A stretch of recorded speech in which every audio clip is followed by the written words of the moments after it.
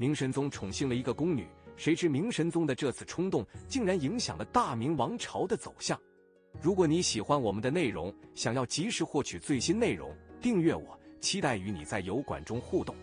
皇帝拥有三宫六院，可以说宫里面除了他父皇的妃嫔以及年长的嬷嬷，都是他的女人。所以在皇宫里睡自己的女人，也没人能说他什么。要是有宫女被皇帝宠幸了，说不定还能够一人得道鸡犬升天。不过今天我要说的这个皇帝非常的奇葩，他自己为色所迷，宠幸了一个宫女，谁知道事后却不承认，最后还是太后拿来一件东西才承认，究竟是怎么回事呢？跟着小圣去看看吧。一次相遇，那年明神宗在太后宫中宠幸了一名宫女，临走时说：“今日之事不允许对任何人说。”宫女抱着衣服，害怕点点头。没想到她竟然被幽禁在宫中十年。这名宫女就是王淑荣，十三岁进宫选秀，落选之后就分到了李太后身边做了宫女。一次偶然的机遇，命运就此改变。那天，明神宗像往常一样去给太后请安，恰巧太后去御花园散步，此时一名宫女端来一盆热水给明神宗洗手。明神宗看着眼前这个宫女，一下子就被深深吸引住。明神宗搭讪道。你叫什么名字？王宫女小声回应：“回皇上，奴婢王氏。”说完，明神宗说道：“你们都下去吧，留下王宫女侍奉即可。”此时暖房里只剩下王宫女和明神宗，气氛异常尴尬。明神宗一把拉过王宫女，不顾王宫女的反抗，宠幸了她。结束之后，明神宗整理好衣服，对王宫女说道：“今日之事就此作罢，不许泄露出去，否则有你好看。”王宫女抱着衣服，害怕的点了点头。明神宗本以为自己贵为天子，宠幸一个宫女没什么大不了，但是没想到他还是要为他冲动的行为买单。就是那一次宠幸之后，王宫女怀孕了，肚子一天天大起来，这让太后看出了端倪。因为宫中只有皇上一个男人，一看便知道是怎么回事。太后悄悄将王宫女带到跟前，问道：“皇上是不是宠幸了你？”此时王宫女急忙跪下说道：“请太后恕罪。”李太后也是宫女出身。他知道作为宫女的身不由己，并没有责怪王宫女，而是为她做主，找了明神宗谈话。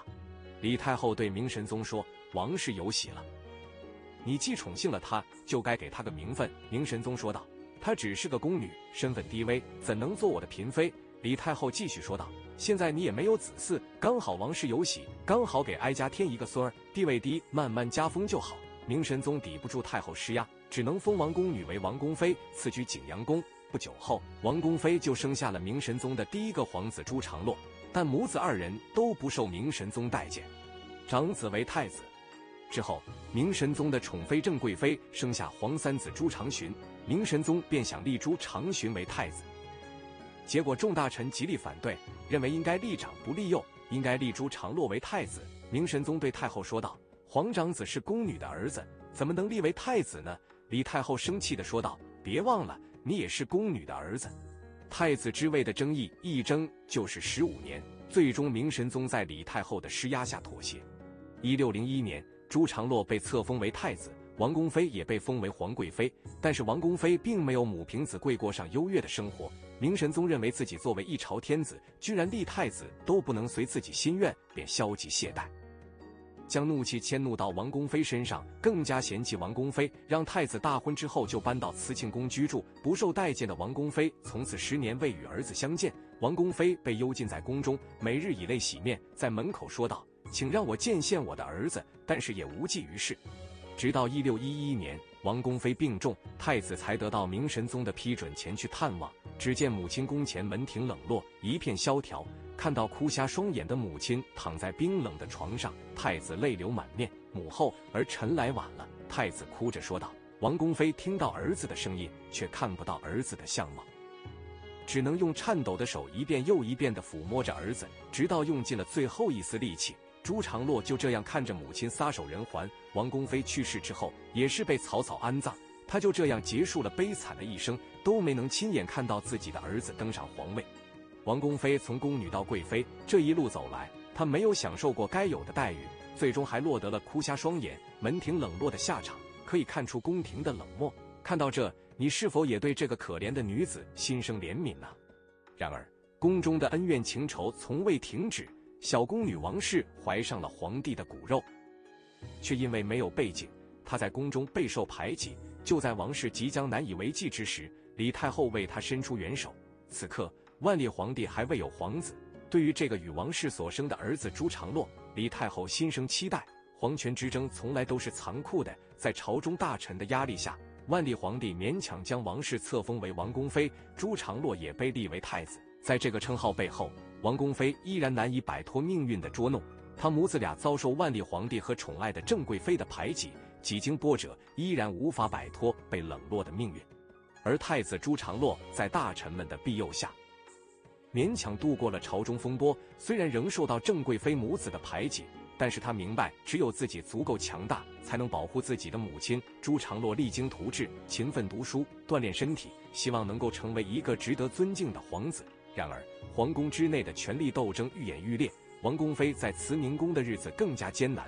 郑贵妃不仅想要将王宫妃赶出皇宫，还企图让自己的儿子朱常洵继位为帝。他暗中拉拢一些势力，破坏王宫妃母子的关系，甚至不惜动用武力来威胁他们。在这种极度压抑的环境下，王宫妃的身体每况愈下。太子朱常洛见状，心中痛苦万分，但又无能为力。为了保护自己的母亲，他不得不忍气吞声，继续坚持在皇宫这个漩涡中求得一席之地。追封皇后，复葬定陵。万历四十八年（公元一六二零年）四月，皇后王氏崩，神宗本人的身体状况也已经江河日下。当年七月。皇帝陛下指示礼部置办册立正皇贵妃为皇后的典礼仪仗，然而还没等到册封大典举行，朱翊钧就突然驾崩，这其中是否还有隐情，真是不忍细思。